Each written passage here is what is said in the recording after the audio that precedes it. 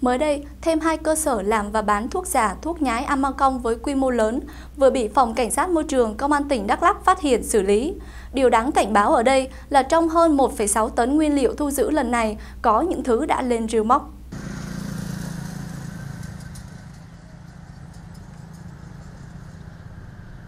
Xẻ hoa chứ không phải xẻ corona đâu. Xẻ corona chứ. Ngay trên tuyến tỉnh lộ 8 đoạn qua Buôn Giang Lành, xã Crong huyện Buôn Đôn, tổ công tác của Phòng Cảnh sát Môi trường Công an tỉnh Đắk Lắc đã kiểm tra phát hiện hai cơ sở đang làm bán xỉ lẻ trái phép hàng loạt thang thuốc giả và nhái theo thuốc Amacong. Đó là cơ sở của ông Y Giọt Cờ Nun và bà Hồng Vén. Vào thời điểm kiểm tra, tổ công tác đã phát hiện lập biên bản thu giữ tại hai cơ sở này 1,6 tấn nguyên liệu dạng thân, rễ, nấm, vỏ lá cây rừng các loại và hơn 116 kg đã đóng gói thành phẩm không rõ nguồn gốc.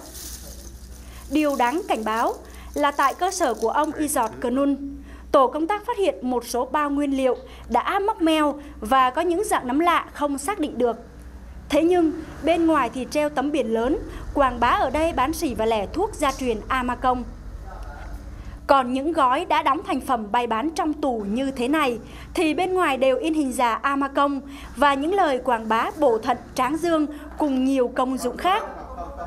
Nhưng các chủ nhân này thì không xuất trình được bất cứ một thứ hồ sơ, giấy tờ gì để chứng minh về nguồn gốc hàng hóa, chất lượng hay đăng ký nhãn hiệu hợp pháp.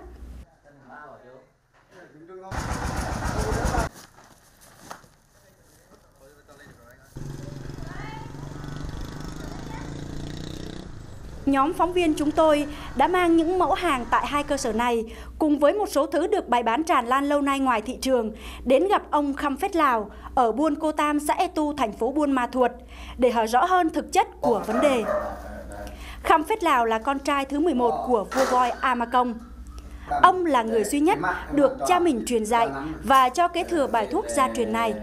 Những năm qua, phương thuốc gia truyền chính hiệu mang tên Amacong Khăm Phết Lào của ông đã được Sở Y tế, Hội đồng y tỉnh Đắk Lắk, Cục Sở hữu trí tuệ Việt Nam cùng một số cơ quan chức năng thẩm định chất lượng, cấp phép công nhận nhãn hiệu. Viện Khoa học Hình sự Bộ Công an cấp tem chứng nhận và nhiều tổ chức ghi nhận là phương thuốc gia truyền chất lượng tốt cho sức khỏe.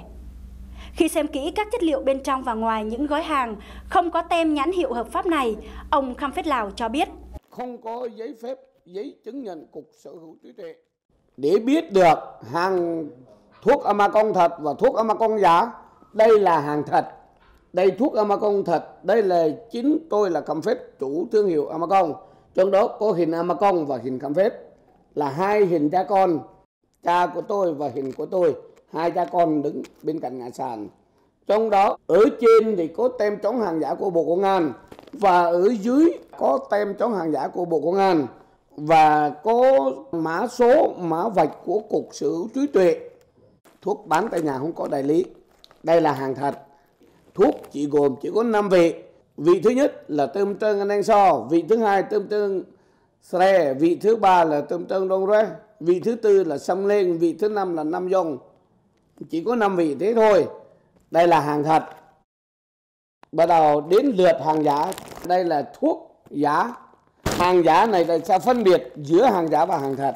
Trong đó nó lợi dụng lấy hình ảnh của cha tôi đây à, Amacon thổi tu bà. Lì thuốc giả của nó là không có tem chống hàng giả. Chỉ nhận ra là không có hình hai cha con của tôi là một. Cái thứ hai là không có tem chống hàng giả. Cái thứ ba là không có mã số mã vạch của cục sở trí tuệ Việt Nam. Cấp phép đó là hàng giả. Thuốc mặt sau cũ tử cái, cái gì cái gì đó. Vẫn mang danh hiệu Amacon. Đây là hàng giả hàng giả rất nhiều. Đây vàng thì hai vị vàng thì năm vị vàng thì bảy vị vàng thì chín vị vàng 12 vị đủ thứ kiểu hàng giả đây nó nhiều lắm. Đây đó cho nên người tiêu dùng phải tìm cho kỹ ờ, mong cơ quan chức năng phải ra tay làm việc.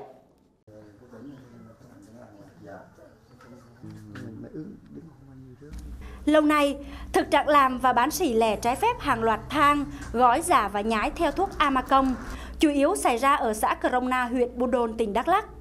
Và tại đây, từ tháng 2 năm 2019 đến nay, Phòng Cảnh sát Môi trường Công an tỉnh Đắk Lắk đã kiểm tra, phát hiện, xử lý 4 cơ sở quy mô lớn, thu giữ để tiêu hủy hơn 4 tấn nguyên liệu và trên 520 kg đã đóng gói các loại.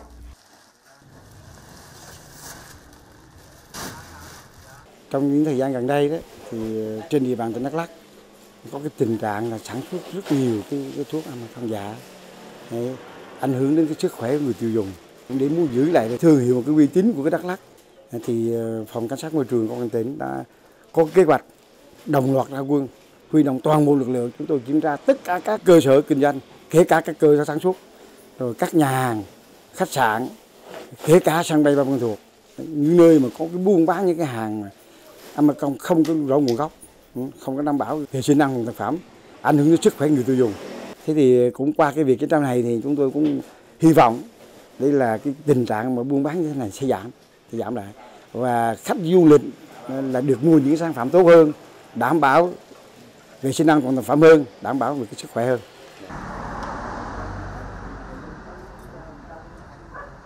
Hiện lực lượng cảnh sát môi trường công an tỉnh Đắk Lắk đang tiếp tục triển khai việc kiểm tra, phát hiện, ngăn chặn, xử lý tình trạng làm và bán tràn lan những thứ hàng giả, hàng nhái theo thuốc Amacong gia truyền chính hiệu.